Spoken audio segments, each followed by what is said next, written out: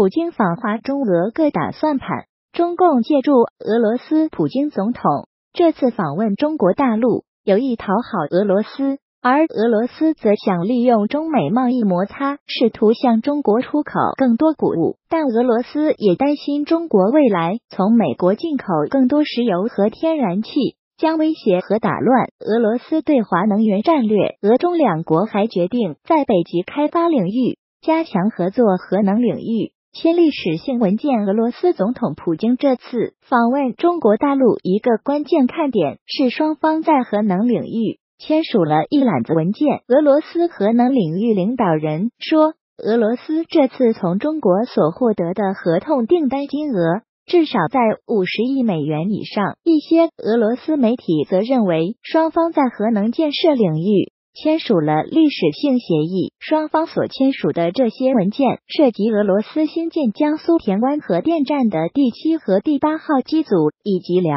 宁葫芦岛市徐大宝核电站的第三和第四号机组，取代美国西乌苏俄影响中国持续至今。徐大宝核电站的第一和第二号机组由美国的西乌公司兴建，西乌公司原本期望获得徐大宝核电站所有其余机组的合同订单。但随着国际形势和中美关系的变化，中国把徐大宝核电站的第三和第四号机组建设订单转交给俄罗斯，而不是美国。同一个核电站的机组分别来自美国和俄罗斯，由不同国家兴建。在核能建设史也是首次出现两国领导人这次都宣称双方关系已经达到了中俄四百多年关系始终。的最高点辽宁葫芦岛市是中国核潜艇建造基地葫芦岛造船厂，当年由苏联援建，曾是上个世纪五十年代时苏联对华重点援建项目之一。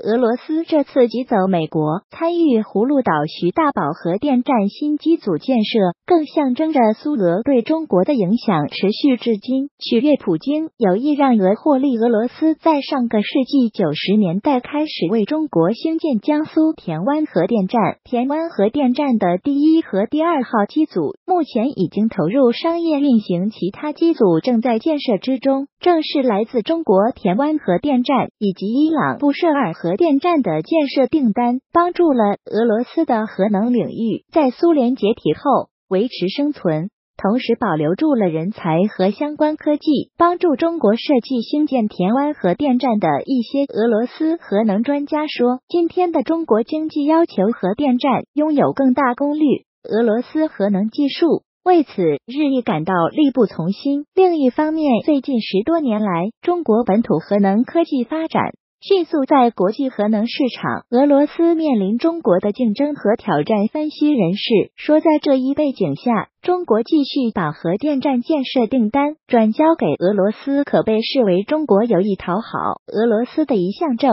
治性举动。但与九十年代时俄罗斯全部承揽田湾核电站的第一。和第二号机组建设不同，中国与俄罗斯这次所签署的新核电站机组建设文件中，许多设备以及施工和服务都中国方面负责。俄罗斯核能领域人士说，这可能导致俄罗斯。的利润有所下降，但另一方面，俄罗斯目前在国外兴建核电站的资金来源，通常都是俄罗斯政府为别国所提供的贷款，而这次是中国直接下单订货俄罗斯核能企业，因此能直接获得中国的资金。俄对中国有长远打算，担心美国打乱棋局。俄罗斯的石油和天然气巨头。同样在中国赚得盆满钵满，俄罗斯目前已挤掉沙特阿拉伯，成为中国市场最大的外国燃油供应商。俄罗斯擅长把能源作为地缘外交武器。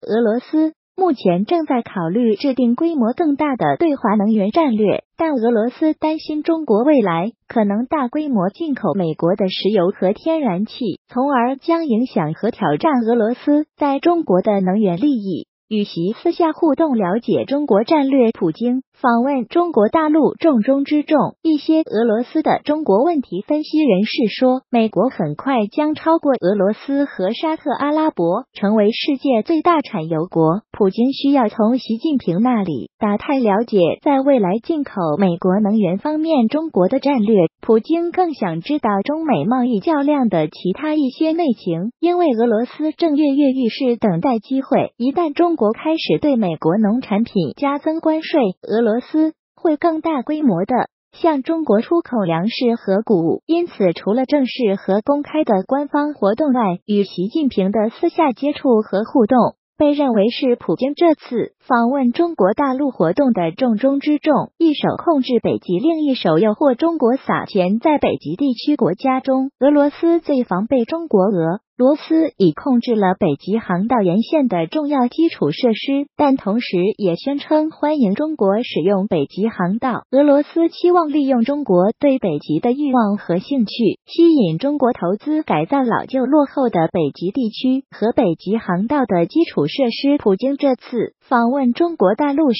提到了双方将进一步加强在北极开发。和使用北极航道方面的合作，双方这次在北京特别讨论了向中国出售俄罗斯北极商船队的部分股权。这家商船队全部由俄罗斯国家控股，业务主要涉及在北极地区从事货物。特别是石油等能源的运输，但随同普京访问中国大陆的俄罗斯经济部部长表示，双方在双关问题上未能取得突破，人民币急走卢布，酝酿新军火交易。双方。这次还特别提到，在两国贸易中减少使用美元，更多使用本国货币结算。但一些俄罗斯金融和经济界人士说，虽然在两国贸易中使用本国货币结算的规模越来越大，但在结算过程中却更多使用人民币。因此，俄罗斯不满人民币急走卢布，使俄罗斯无利可图。两国的联合声明提到，双方将加强和深化在所有领域的合作，包括加强两国军队以及在军火贸易领域的合作。俄罗斯主管国防工业和军售领域的官员这次也随同普京访问中国大陆，显示双方可能在酝酿新一笔军火交易，向普京展示中国高铁推动莫斯科到。喀山项目，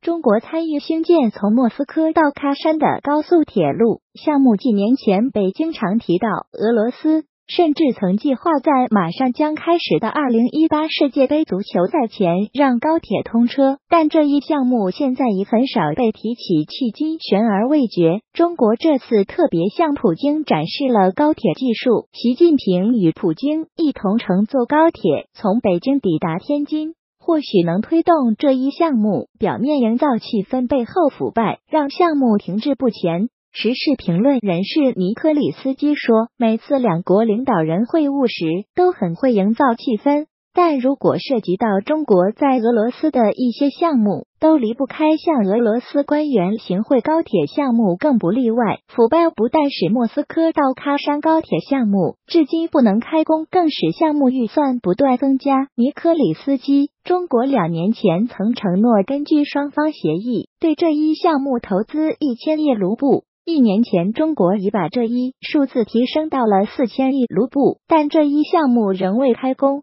我看到的一些报道都说，妨碍中国启动项目的因素就是贿赂和腐败。西方关上大门，普京亲信转向中国寻找机会。除了大批俄罗斯政府高官这次随同普京访问中国大陆外，被美国和欧洲列入制裁黑名单，被许多西方国家禁止入境的亲克里姆林宫财阀继母琴科和杰里帕斯卡等人，这次也作为俄罗斯代表团成员访问中国大陆。美国的最新制裁使铝业大王杰里。帕斯卡旗下企业陷入困境。杰里帕斯卡这次随普京访问中国大陆，试图寻求向中国市场推销俄罗斯铝材。